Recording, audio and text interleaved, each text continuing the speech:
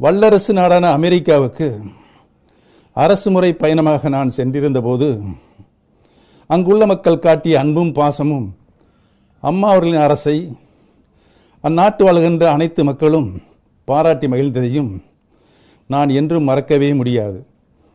இன்று அங்கும் லட்சக்கணக்கான மக்கள் கொரோனாவால் பாதிக்கப்பட்டிருக்கிறார்கள்.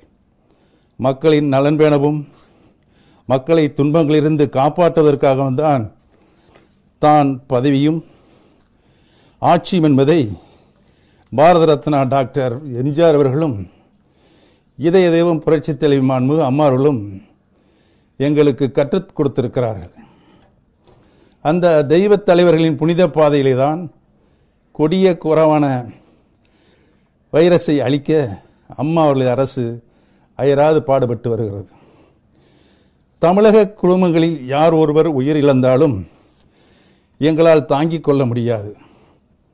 கொரோனா நோய் தொற்று பரவாமல் இருத்திட வேண்டும். உயிரிழப்பை தடுத்திட வேண்டும்.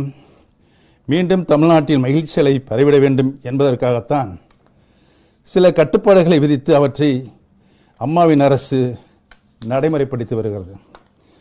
கொரோனா வைரஸை வெற்றி கொள்ள நாம் நடத்தும் போரில் அம்மா அவர்களுடைய அரசுக்கு பக்கபலமாக இருக்க வேண்டும் என்று தமிழக மக்களை அன்போடு வேண்டி கேட்டுக்கொள்கிறோம்.